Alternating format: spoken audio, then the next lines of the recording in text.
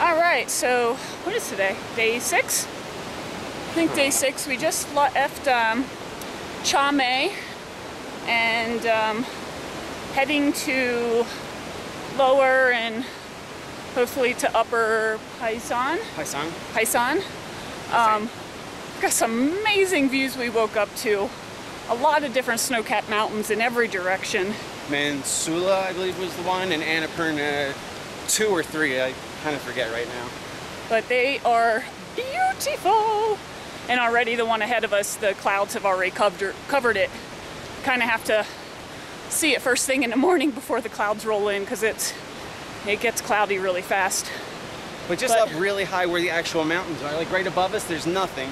But where the clouds are, that's where all the, or I'm sorry, where the tops of the mountains are. Let's see. That's where the clouds Up are. there where the clouds are, that's one of the peaks. So, but you know, um, we've been feeling really good. Yesterday was a really good day. We did another eight hours, but we did stop for lunch um, after five hours and refueled. And um, Slowing our pace down has been awesome. yeah, that's helped a lot. Feeling so much better. Taking more breaks when we need, just enjoying it, getting it done, but you know, doing it smart. And um, And realizing that we might actually be able to go through and do it all. I don't see why we won't now. and today we're gonna, since we've been able to do these long days, we're gonna potentially see if we can make it all to all the way to Manang today.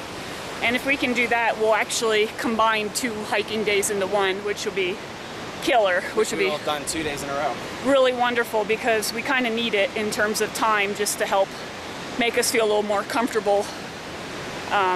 Get a shot of that waterfall real quick. On the other side. That's the kind of stuff that we get to see as we're going through this hike. Sorry to interrupt, but the River below. That was worth to see.